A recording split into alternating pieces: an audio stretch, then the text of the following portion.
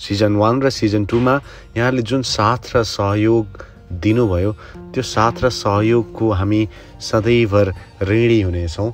म मिलन आज पनि यहाँहरू समक्ष लम्स प्रोडक्सनको यो च्यानलबाट उपस्थित भएको छु अनिभन नोट सिजन थ्रीको पहिलो एपिसोड लिएर रबिन सापकोटाले लेख्नुभएको एउटा कथा पढ्न गइरहेको छु।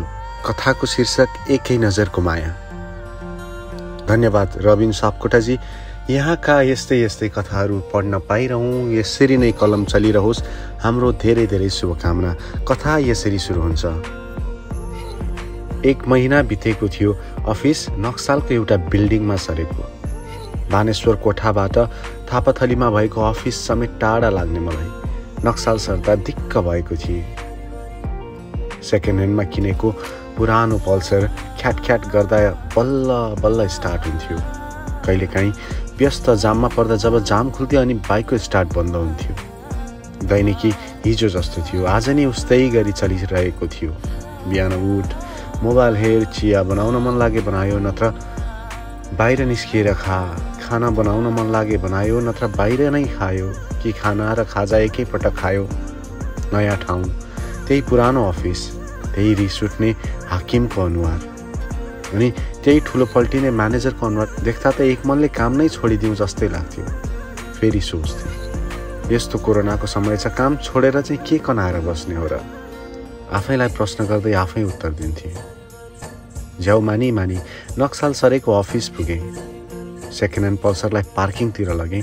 अरूका नयाँ नयाँ बाइक देख्दा आफ्नो बाइक त्यहाँ पार्किङ गर्नै लाज मर्दो लाग्ने।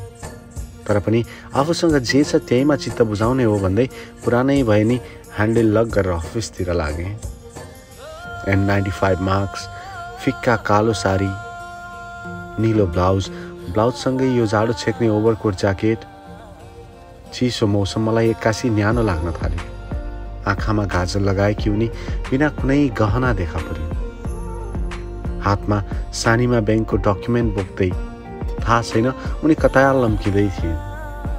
मेरो अगाडि हुँदै मतिर लम्किएकी उनी मतिर एकपल्ट पनि फर्केर हेरिन मेरो अघि हुँदै मलाई पछाडि छाडेर उनी बाहिर निस्के पछाडिबाट नि आँखाले छुट्याउने रङ र देख्ने चित्र सबै मस्तिष्कमा सेभ गरेँ जसरी कुनै राम्री केटीले मलाई हजुर कस्तो मनपर्छ भन्दा त्यो केटीको सबैभन्दा राम्रो फोटो सेभ गरेर साथीभाइलाई यहाँ हेर यो केटीले मलाई मन पराउँछ रे भन्दै देखाउन भनेर राख्छौ नि। हो त्यसै गरी। अघिसम्म टाढा लाग्ने अफिस। अब शनिबार नै बिदा नभइदिए हुने जस्तो लाग्थ्यो। उत्साह बोक्दै केही हुने आशमा दुई फर्कामै अफिस पुगे। के नाम होला? कसलाई सोध्ने होला? कन्भर्सेसन कहाँबाट स्टार्ट गर्ने होला? उनको अफिस कति बजे छुट्टी हुने होला? कहाँ बस्छिन् होला भन्ने प्रश्नहरूले मनभित्र डेरा जमाएर बसे। दुई बजेतिर यसो चिया पिउने न्युमा बाहिर निस्किने आँट गरे। बाथरुम गएर हल्का पानीले कपाल मिलाएँ बेल्टलाई टाइटसँग कस्तै जुत्ता पुसेर निस्किए। मेरो अफिस कोठाबाट तल्लो तलामा उनको अफिस भएकाले देखिने आसमा झर्दै हिँडेँ। तर विडम्बना उनी त्यहाँ थिएनन्। थुइक्क अर्को अफिसको केटी हो कि के हो? काम विशेषले पो आएकी थिए कि यता? भन्दै मनमा नै बोल्न थाले। ठिकै छ यहीँ काम गर्ने भएको भए मैले कहाँ पट्याउन सक्थेँ होला र? जिन्दगी सिङ्गल नै भएर जाने भयो भन्दै क्याफेतिर लागेँ। चुरोट एकदमै तान्न मन भएकाले जाने बित्तिकै चुरोट सल्काउन थाल्दै थिए। उनी अर्की केटी साथीसँग चिया पिउँदै गरेको देखेँ। सल्किसकेको चुरोट एक सरको समेत नतानी फालिदिए मनभित्र डर उत्पन्न भयो हैट उनले देख्न त देखिरहनु होला नि है भन्दै। मैले चिया अर्डर गर्दा गर्दै उनी आफूले खाएको खाजाको पैसा तिरेर निस्किन्। उनी जाने बित्तिकै अर्को चुरोट मगाएँ। घडीले साँझको पाँच बजाउनै लागेको थियो। म उनी कुन बेला निस्किने रहेछन् भनेर घडी हेर्दै बाहिर हेर्दै बसेको थिएँ। पाँच बजेर दस मिनट जाँदा उनी कालो साइड ब्याग भिरेर बाहिर निस्किन्। म पनि हाकिमलाई आज अलि हतार छ है म जान्छु भन्दै हाकिमको उत्तर नसुनिकन निस्किएँ तिन चारचोटिसम्म कि खाँदा स्टार्ट नहुने मेरो बाइक उनको अगाडि स्टार्ट गर्न डर लाग्यो। थाहा थिएन उनी कसलाई खुर्दै थिइन्। उसलाई हेर्दै बाइकमा के खानिरहेको म उनी मलाई हेर्दै हाँसे झैँ लाग्यो। अब त मलाई झन् के चाहियो र लाजले झन् कि खान्न सकिनँ। भगवान् कृपा गरी अब त स्टार्ट हो न भन्दै गर्न लाग्दा बल्ल तल्ल स्टार्ट भयो। उनी अझै त्यहीँ थिइन्। मैले आफ्नो पुरानो बाइक उनीतिर लगेँ। सायद उनी कसैको प्रतीक्षामा थिइन् होला। नत्र अघि नै निस्केको मान्छे अहिलेसम्म नजाने कुनै कारण छैन। कारण हुँदैन। उनी सामु पुग्दा स्टार्ट बन्द होला भन्ने डरले मन कामिरहेको थियो। गेटबाट साइड लाइट बाली दायाँ मोड्नै खोज्दा उनी बोले सुन्नुहोस् न कता जाने हो र? आत्तिँदै मैले सोधेँ तपाईँ कता जाने हो र? जान त पुरानो बानेश्वर जाने हो तपाईँ कता जाने हो? मनभित्र खुसीको लड्डु फुट्यो। डर मिश्रित आवाजमै भने मनी बानेश्वर नै बस्ने हो। जब उनी बसिन् मेरो स्टार्ट बन्द भयो। उनी बाइकमै बसिरहँदा तिन चारचोटि कि खाने। तर पनि भएन। फेरि हाने फेरि भएन। बल्ल तल्ल चढेकी उनीलाई फेरि के ओर्ली भन्नु। छ्या म चढ्ने बित्तिकै स्टार्ट बन्द भयो। कस्तो पनाउँथेँ है म। भन्दै हाँस्न थालेँ। मैले त्यस्तो होइन। चिसोले होला एकैछिनमा भइहाल्छ नि। के चिन्ता र? पुरानो छ नि त त्यही भएर हो भन्दै उत्तर फर्काएँ। उत्तर फर्काए बित्तिकै स्टार्ट भयो। अगाडिको ब्रेक समाउँदै उसलाई नजानिदो पारामा केही अघि ल्याएँ। ब्लाउजबाटै उनको शरीरले मेरो पछाडिको ढाडमा स्पर्श गर्दै फेरि उनको शरीर पछाडि नै सर्यो उनी एक हातले पछाडि समाउँदै एक हातले कता कता समाउने भन्दै दुविधामा थिइनु होला सायद। बाइकमा चढेको चार पाँच मिनटपछि उनी बोलिन् मलाई त्यहाँ चोकभन्दा अगाडिको लिक्वर सपमा रोकिदिनुहोस् है मैले उनलाई सोध्न चेष्टा राखेँ। अनि पुरानो बानेश्वर भनेको होइन किन त्यो चोकमा रोक्ने हो र? गहिरो सास भित्र तान्दै बोल्न थालिन्। आज फ्राइडे हप्ता दिनदेखिको थकाइ केही तनाव अनि केही झन्झट हटाउन पिउनु पर्यो नि होइन। उनी यसो भन्दै चोक आइपुगेपछि झर्न लागे। तपाईँ पिउनुहुन्छ कि नाइ हेर्दा त बाहुन जस्तै देख्छु। घर कहाँ हो र? अनि नाम? उनले एकैपटक तिन चारवटा प्रश्न सोधिन्। म मिलन घर पोखरा। हजुर बाहुन नै हो म। त्यति भनिसकेपछि उनी मास खटाउँदै बोल्न थालिन्। मिलन कस्तो मिठो नाम? कास बिछोड भन्ने शब्द हजुरको नाम हुन्थ्यो त आजको फ्राइडे। साँच्चीकै गुड फ्राइडे हुन्थ्यो होला। बिछोडसँग खास नाता छ मेरो भन्दै उनी लागिन् मैले उसको नाम सोध्न समेत भ्याइनँ उनी झर्दा बन्द भएको बाइकको स्टार्ट फेरि कि खाँदै गर्न थाले। अनि मतिर फर्किँदै मिठो मुस्कान दिँदै दारू पसलतिर लागिन्। म उनीतिर हेर्दै के खान्न थालेँ।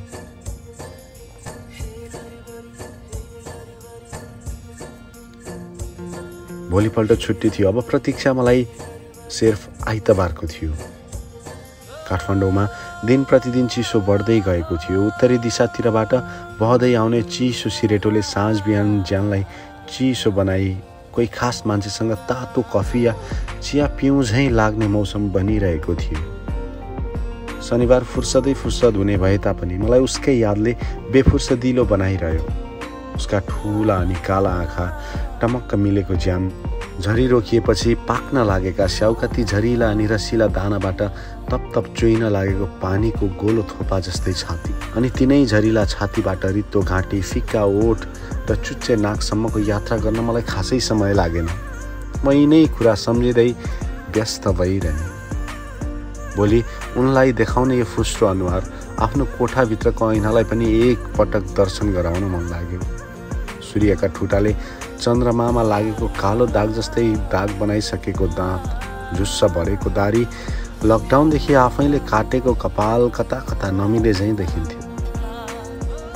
आफ्नो नि सर्भिसिङ गराउनु पर्यो अनि बाइकको पनि सर्भिसिङ गर्नु पर्यो भन्दै साँझको समय चोकतिर निस्किए बाइक चोकको ग्यारेजमा छोड्दै भने स्टाफ राम्रोसँग आउँदैन खै के भएको? ब्याट्रीको प्रब्लम हो कि के हो? हेरिदिनु न है दाई। अँ भइहाल्छ नि। बरु सुन्नुहोस् न सिट कभर पनि च्यातिको रहेछ चेन्ज गरिदिउँ कि?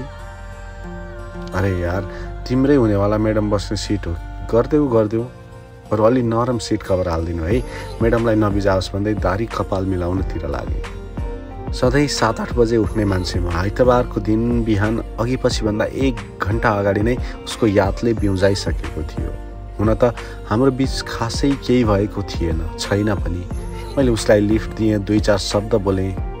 उनको सुन्दरता देखेँ तर पनि मलाई यो कस्तो छटपट्टि उसलाई देख्ने अनि भेट्ने। आफैले आफैलाई उत्तरविहीन प्रश्न गरिरहे। इङ्गेजको अत्तर कपालमा हल्का तेल मिलाइएको दारी अनि अनुहारतिर थोरै क्रिम एक किकमा स्टार्ट हुने बाइक झिक्दै आधी घन्टा अगाडि नै अफिसको लागि निस्किए। मुटु हिजो अस्तिको भन्दा केही तेजमा धड्किरहेको थियो। आँखाहरू उनी आउने बाटोहरू अफिसको झ्यालबाट चियाउनमै व्यस्त थिए। भित्ताको घडीले आफ्नो गति चालु राखेको थियो। अघिसम्म बिहानको दस बजाएको घडीले अहिले आएर एघार बजाइसक्यो तर उनी आएको यी आँखाले देखेनन्। मैले नदेखेको पो हो कि भन्दै आफ्नै आँखालाई विश्वास गरिनँ र मनको कुरा सुन्दै उनको अफिसतिर झरे आँखा र मन दुवैले उनलाई देख्न सकेनन्। मनले मान्दै मानेनन्। त्यही सँगै बस्ने एउटा सरलाई सोधे सर आज उनी आइनन् सरले मतिर हेर्दै नहेरी उत्तर दिए। को हुने अस्ति बाइकमा सँगै जाने केटी? अँ हजुर सरले देख्नुभएको थियो। हो उही केटी। आज अफिस आएकी छैनन्? मैले एकैपटक दुई तिनवटा प्रश्न गरेँ। सन्चो छैन भन्ने खबर आएको थियो। सायद आज उनी आउँदिनन् होला। जरुरी काम छ भने लानुहोस् यो नम्बरमा फोन गर्नुहोस्। भन्दै सरले उनको नम्बर दिनुभयो मलाई। मैले भयभरको हिम्मत जुटाएर उनको नम्बरमा फोन लगाउने कोसिस गरेँ। पहिलो प्रयास असफल भयो दोस्रो पनि असफल भयो उसै गरी तेस्रो पनि। मैले पुनः फोन गर्ने आँट गर्न सकिनँ। सायद सन्चो नभएर सुतेकी होलिन् भन्ने कुरा सम्झेँ केही छिनपछि उनले नै कल ब्याक गरिन्। अफिसमा भएकाले सबैको सामु फोन उठाउन अप्ठ्यारो लागेकाले हतार हतार बाहिर निस्किए र बढ्दै गएको धड्कन र बढ्दै गएको साहस बिच नै बोले हेलो उताबाट फोन आयो। हजुर फोन गर्नुभएको रहेछ। को बोल्नुभएको? म उही के हाम्रो सँगै अफिस छ नि। अस्ति फ्राइडे मैले तिमीलाई लिफ्ट पनि दिएको थिएँ अनि तिमी दारू पसलतिर झरेकी थियौ। याद भयो? अरे तपाईँ पो अनि कसरी नम्बर पाउनुभयो र मेरो? जसरी एउटा कालो बादल भारी भई भुइँतिर वर्षन आतुर हुन्छ नि। हो उस्तै गरी आतुर थिएँ। आज तिमीलाई भेट्न अनि तिमी आएनौ अनि तिम्रै अफिस पुगेर नम्बर मागे। बडा फिल्मी डाइलग मार्नुभयो त। उनले हाँस्दै उत्तर दिइन् र भनिन् अस्ति धेरै पिएछु अनि आजसम्म ह्याङ हानिरहेको छ। त्यही भएर बिरामी छु भन्दै बिदा लिएको। तिम्रो लागि स्टार्ट बन्द भइरहने बाइक बनाए। तिमी बस्ने सिट कभर चेन्ज गरे तर तिमी नै आइदिएनौ। त्यस्तो भेट्न मन छ। एक दिनकै भेटघाटमा के भयो हजुरलाई त्यस्तो धेरै नै भेट्न मन भयो आउनुहोस् क्यारे घरमै। म उनको प्रस्तावले अकमक्क भएँ। आवाज बन्द भयो। ज्यान झन् चिसो भयो। हात खुट्टा काप्न थाले। मैले कामेकै आवाजमा भने रातको समय केटाकेटी बन्द कोठा कसरी विश्वास गर्यौ र बोलाउने आँट गर्यौ मलाई डर लाग्दैन। उनले हाँस्दै उत्तर फर्काइन् डर त मलाई प्रेम गर्ने प्रेमीहरूसँग लाग्छ भन्दै फोन काटिन्। अधुरो अपुरो संवादपछि मलाई फेरि फोन गर्न डर लाग्यो। अझै भनौँ आँट नै आएन। भोलि त आइहाल्छन् होला नि। उसै पनि मान्छेहरू आफूले मन पराएको मान्छेलाई वर्षौँ कुर्छन्। म एक दिन कुर्न सक्दिनँ र यति भन्दै मनमा कुरा खेलाउँदै आफ्नो अफिसतिर उँभो लाग्दा मोबाइल भाइब्रेट भयो। खल्तीबाट झिकेर चेक गरेँ उसकै नम्बर उसकै म्यासेज। पुरानो बानेश्वर चोक आएर कल गर्नुहोस्। रम ल्याउने या वाइन ल्याउने जे मनपर्छ त्यही ल्याउनु। सात आठवटा चुरोट पनि ल्याउनु अनि सुन्नुहोस्। बेलुका नौ बजेपछि मात्र आउनु यही घरबेटीले थाहा पाउँछ नत्र। अब मलाई केवल नौ बजेको पर्खाइ थियो। आठ बजेसम्म आठ कप नै चिया पिइसकेको थिएँ। अझै एक घन्टा बिताउन मलाई धौ धौ परिरहेको थियो। कतै उनले आउनुहोस्। मेरोमै भन्दै झुट त बोले कि होइनन् मसँग। जस्ता प्रश्नहरू उठिरहेका थिए। एक सेकेन्ड एक मिनट जस्तै एक मिनट एक घन्टा जस्तै अनि घन्टा। भो कुरै नगरौँ। उसको घरबेटीले थाहा पाउला कि भन्ने डर एकातिर बेलुका के बोल्ने के भन्ने डर अर्कोतिर डर नै डरबिच बाइकलाई अफिसमै छोडी हिँड्दै गएको म। अफिससँगैको एटिएम बुथबाट केही पैसा झिकेँ। एटिएममा भएको ब्यालेन्सले जिन्दगी नै अनब्यालेन्स बनाइरहे जस्तै देखिन्थ्यो। केटीको लागि तिन हजार खर्च। आफूले आजसम्म आफ्नै लागि एकचोटि तिन हजार खर्च नगरेको म आफैलाई धिक्कारेँ। तिन हजार झिकिसकेपछि बाँकी रहेको पच्चिस सय पैसालाई आफ्नो पकेट खर्च भन्दै छोडिदिएँ। उनले अस्ति दारू किनेको पसलबाट एक हाफ रम भोलि आफूलाई नै पुग्छ भन्दै एक बट्टा सूर्य किन्दै चोकतिर लागे। समयले आठ चालिस बजाइसकेको थियो। केही समय उनले नै फोन गर्छिन् भन्दै कुरे। आठ पचाससम्म पनि उनको फोन नआएपछि आफैले फोन गर्ने आँट गर्दै फोनको घन्टी उसको फोनसम्म पुर्याएँ हजुर आइसक्नुभयो? अघिसम्म विश्वास नलागेको मलाई अब झन् झन् डर लाग्न थाल्यो। डर नै डर बिच बोले आइसकेँ त चोक मासु दुई मिनट बस्नु है म आइहालेँ भन्दै फोन राखिन्। टाइट जिन्स प्यान्ट जिन्समाथि सेतो कुर्ता कुर्तासँगै जाडो छेक्न लगाएकी थिए उही अफिस आउँदा लगाउने ओभर ज्याकेटको फस्नरले एक अर्कालाई भेट्टाउन सकेका थिएनन् दुई किनारा भई छुट्टिएका थिए। आँखा तिनै आकर्षक शरीरका बिचमा पुगेर ठोकिए त्यहीँ अड्किए रोकिए। उनी बोल्न थालिन् म पहिला आफ्नो रुम छिर्छु गेट खुल्लै छोडिदिन्छु। तपाईँ म रुम छिरेको केही सेकेन्डमा छिर्नुहोला तर एकदम सुस्तरी। अनि सुन्नुहोस् जुत्ता रुमभित्रै फुकाल्नु। बाहिर देख्यो भने घरबेटीले शङ्का गर्छन्। मेरो रुम जाँदा जाँदै सुरुकै दाहिनेतिर छ। म उनको आज्ञा एक आज्ञाकारी विद्यार्थीले पालना गरे झैँ पालना गर्न आतुर थिएँ। एउटा ट्युबलाइट जो निभिसकेको थियो झ्यालको पर्दा जो लगाइसकेको थियो सिङ्गल बेड जो मिलाइसकेको थियो।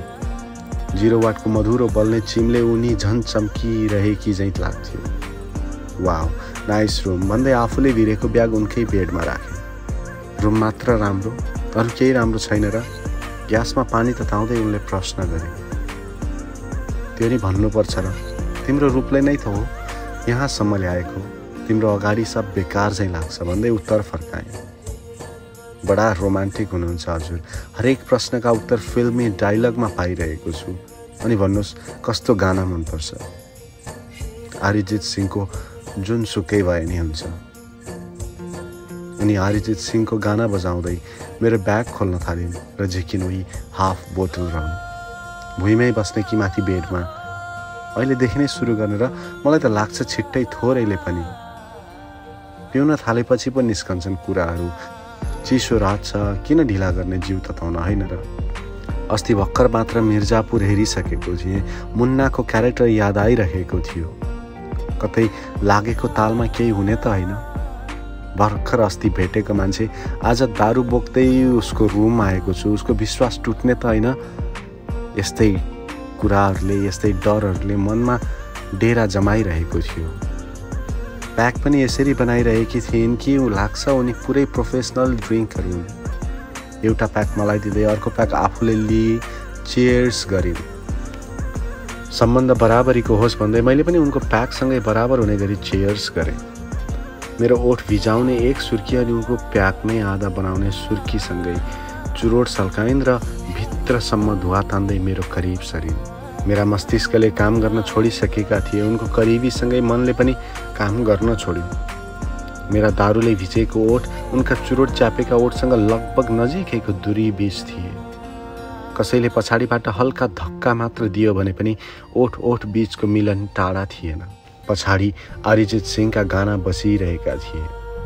चुरोटको धुवाले कोठा भरिसकेको थियो। बाहिरको चिसो मौसमको मतलब थिएन।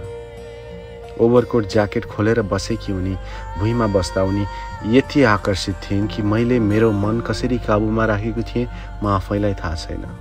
माहौललाई अझ तरङ्गित बनाउन मैले प्रश्न गरेँ कोही बोय फ्रेन्ड अनि अर्को प्याक बनाउँदै मुस्कुराउँदै उत्तर दियो थाहा थियो यो प्रश्न यो कौतूहलता तपाईँको मनबाट निस्कन्छ भनेर। बोयफ्रेन्ड छ भनेपछि अर्को प्रश्न निस्किन्छ कहाँ छ कता छ? अनि आई यु भर्जिन भन्दै अनि बजेको गानासँगै बग्दै चुरोट र दारूमा लट्ठ बोल्न थाल्यो तिन वर्ष भयो ऊ भगवान्को भएको अनि तिन वर्ष भयो म तपाईँ जस्तै दर्जनौँ केटाको बनेको। साला माल सम्झिन्छन् हामीलाई। राम्रो बोले कि लाइन हाल्छन् सिउँदो उजाडिएको थाहा पाएपछि मेरो यौवनको प्यास मेटाउन खोज्छन्। तर कोही आएनन् तिम्रो अभावको स्थान म पुरा गरिदिन्छु भन्दै। तपाईँको चाहना नै त्यही होला। सिङ्गल बेड रहेछ कहाँ सुत्ने होला भन्ने प्रश्न उब्जिएको होला। एकली चाहिँ अझ यसको ओठ चुस्दै आफ्नो प्यास मेटाउँछु भन्दै। आजकल कसैको करिबीसँग डर लाग्छ।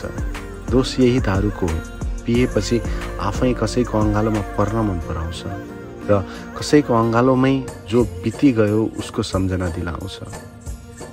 टाउको मासतिर पार्दै धुवा उडाउँदै उसले मलाई प्रश्न गरिन् अनि हजुरको कुनै गर्लफ्रेन्ड? नसा लागेकै तालमा भन्न मन थियो थिए एउटी जसले हाँस्न भुलाइदिए वर्षौँ उसको अङ्गालोमा परेको म आज कसैले मेरो स्थानमा हक जमाएर बसेको छ। भन्न मन थियो उसको अभाव आज पनि खड्किरहेको हुन्छ तर भनिन। दारूका चुस्कीले उठाएका उनका यी प्रश्नको उत्तर। भन्ने थिए त उनको मनमा लाग्न सक्थ्यो। जो अरूकै सम्झनामा बाँचेको छ उसले मलाई चाहने छैन भन्दै। उसको मनमा लाग्न सक्थ्यो। जसले आफूलाई बिर्सी अरू कसैको लागि बाँचेको छ उसले हामी जिउने बाँच्ने आधार तय गर्न सक्दैन भने। उनको साथ पाउनको लागि उनको अधुरो र अपुरो जिन्दगीको सहयात्री बन्नको लागि केही झुट नै बोलिदिए। तिमीले भने जस्तो गर्लफ्रेन्ड कहाँ छ र मेरो? गर्लफ्रेन्ड थिइन् भने म यहाँ कहाँ आउँथेँ र? तिम्रो एक वचनले आफै भन त। तिमी हिउँदको सिरेटोले हानेर उजाड बनाएकी रुख जस्तै म मायाको भेल जो बसन्त तिम्रो लागि बोकिआएको छु। आधा सल्किसकेको चुरोट एस्ट्रेमा निभाइ जसरी आधा जिन्दगी उसको सल्किसकेको थियो। अघिसम्म सिधा मेरो अनुहार हेर्दै प्रश्न गर्ने उनको मुहार भुइँतिर अल्मलिन थाल्यो। जसरी मेरो जिन्दगी कोही खास बिना अल्मलिएको थियो उसै गरी। उनका हातका औँलाहरूले मेरा औँलाहरू छोइसकेका थिए।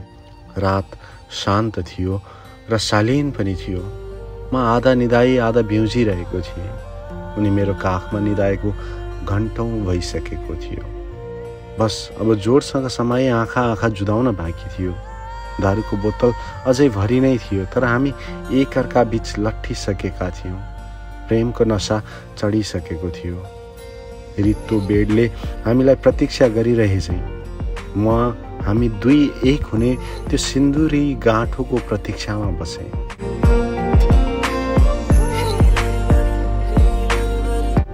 कथालाई हामीले यहीँ टुङ्ग्यायौँ। युट्युब मार्फत हामीलाई हेर्ने सुन्ने यहाँहरू सम्पूर्णलाई सुनको माला लेख्ने भन्ने पढ्ने हामीलाई फुलको माला।